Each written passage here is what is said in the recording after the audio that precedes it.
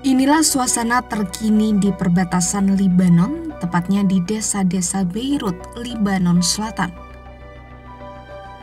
Terlihat jalan-jalan di desa-desa cukup meriah, lantaran ornamen-ornamen Natal banyak dipasang. Namun di balik kemeriahan Natal itu, nyatanya warga di Beirut kini masih diliputi kekhawatiran ini tak lain karena intensitas bentrokan antara Israel dengan kelompok Hizbullah Libanon terus meningkat di sepanjang perbatasan Israel-Libanon.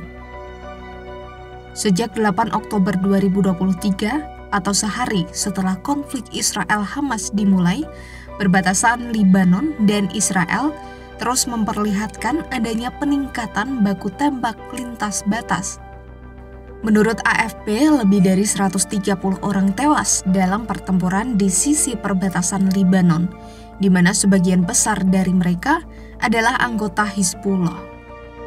Sementara di pihak Israel, empat warga sipil dan tujuh tentara dilaporkan tewas.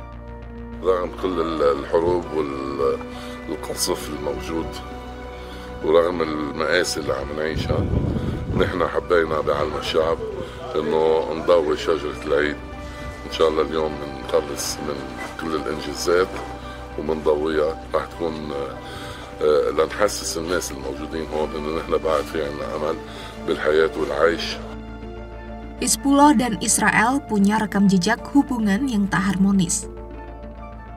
Kedua pihak ini pernah berperang selama sebulan pada 2006 silam. Konflik ini bermula pada 12 Juli 2006 ketika Hizbullah menyerang kota Slomi di Israel Utara dengan rudal Katyusha. Kemudian pasukan Hizbullah menyusup ke wilayah Israel. Peristiwa ini kemudian berlanjut dengan serangan Hizbullah ke wilayah Israel. Alhasil perang itu membuat hubungan Hizbullah dengan Israel tak kunjung pulih hingga kini. Terlebih, Hizbullah yang merupakan sekutu Iran ini merupakan sekutu Hamas.